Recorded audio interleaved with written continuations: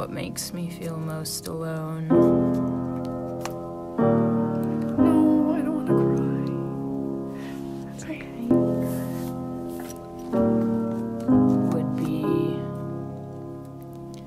I don't know. I mean, being alone is Just this feeling of feeling. having no one understanding you, no matter how hard you try, and that moment the people who do like, understand you just seem to leave.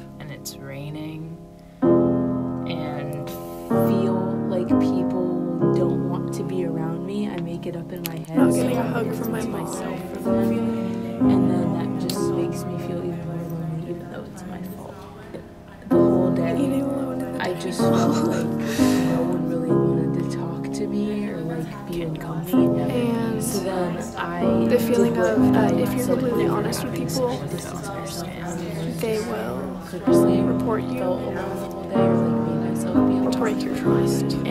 And Like the as feeling I of not being able to progressed, trust I anyone. just it made me have a worse ten years Not having someone, So I if not that was affecting having the rest of my day. people in my I think life people I tried to connect with me, but I wasn't really picking up on it. when in middle school, So I just distanced myself from People everyone. Would make fun of I people for being gay. have a bad time and go home early. and I knew I was gay, but it just wasn't out.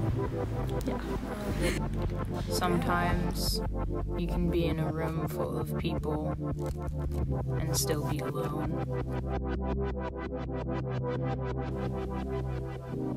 When people betrayed my trust to the people that I hated most in the world.